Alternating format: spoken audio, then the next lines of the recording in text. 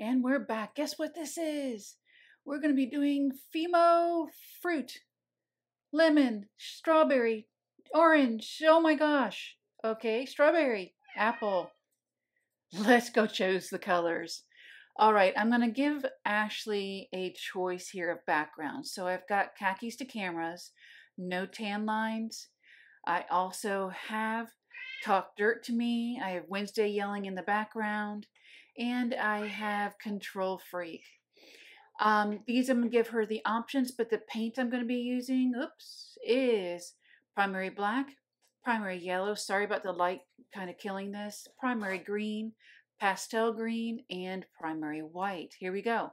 She did choose no tan lines, and I am going to speed this along um, just showing different ways that you can apply line swirls, however, like that. We're doing um, not quite ivy, but kind of like just trussels of vines, I guess you could say. Going to do little comma technique for some leaves. And we're just going to do some quick showing. I'm going to show you how I did one nail, go on to another hit nail. Um, and then next what we're going to do is going to be using the pastel green uh, to accent all of the leaves as well. So this is really nice and easy. I'm uh, half framing on each uh, nail and you'll see in a second as to why. Here's for the highlights, and this actually is the pastel green. I'm making one slight line and then dragging through to give a center line. So it's really, really nice and easy. Yes, this is sped up, but it is actually really easy to do. Um, you can see I'm doing all of the nails at one time because it is quite simple. Choose yourself if you want to do pastel green or if you want to do different color, or if you even want to do this at all. Completely up to you. Make it yours. Next, what I'm going to do is I'm going to use the primary white and I'm going to be using a stylus. It is the number one stylus, so it does not have a ball on the end. And I'm going to wiggle the white, kind of like making a little tiny splashy mess.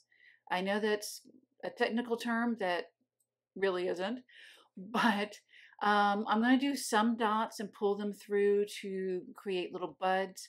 But um, a lot of the flower fruits that we're using, ha, ha, they originate in flowers. So that's what I'm doing. So I'm going to use my striping brush to put a little, a few little dots down on each of these in their center, where I feel their center is.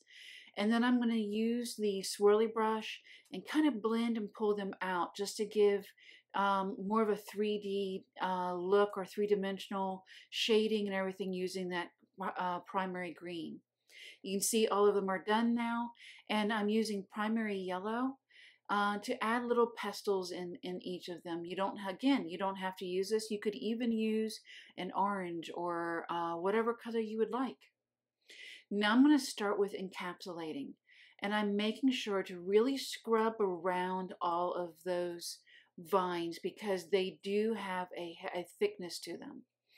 Um, so we need to make sure that when when I'm you're encapsulating, you're really getting around into everything for that uh, first scrub layer, and then you can go in and very carefully dollop and float the gel down. Now I'm not going to have her immediately put this in because we're going to use this with those Fimo fruits. Fimo is the actual clay that the fruit is made out of. And with them pre-sliced, I'm going ahead and going to just submerge them as much as I can into the gel. Now these are going to give the nail a, a 3D feel. So I'm not trying to fully encapsulate them. Am I also making sure that they're balancing on the nail without pushing the gel way over uh, so it's um, bleeding out onto the, the skin. Now I'm using Super Shiny, and I really love doing the Fimo. We did strawberry nails and we did apple nails. And this is really great, especially with the Super Shiny, because it really brings in a lot of highlights. Let's go ahead and take a look at the finished product. Please don't forget to subscribe, like, ring that bell, and I promise I will be getting you some more beautiful nail art. We've got some more to come. Thanks so much.